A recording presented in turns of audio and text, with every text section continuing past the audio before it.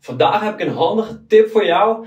Als je niet zoveel tijd hebt om te trainen, krijg je hier bijvoorbeeld deze vraag vaak binnen. Ik kan maar twee tot drie keer per week trainen. Hoe kan ik dan ervoor zorgen dat ik voldoende trainingsfrequentie en trainingsvolume per spiergroep meekrijg? Nou, ik heb een tip, de antagonistische supersets. Hier zie je dat ik boven de uh, pull-up doe en de glute ham raise. Oftewel de rugspieren en de hamstrings. En die zitten elkaar niet echt in de weg. Dus die kan ik wel direct naar elkaar doen. Hoe pas ik dat toe?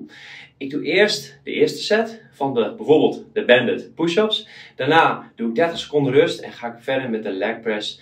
En daarna neem ik 2 minuten rust. En zo heb ik wel kwaliteit, maar heb ik beide spiergroepen getraind. Ik ben benieuwd hoe jij dit ook toepast. Laat het weten in de comments.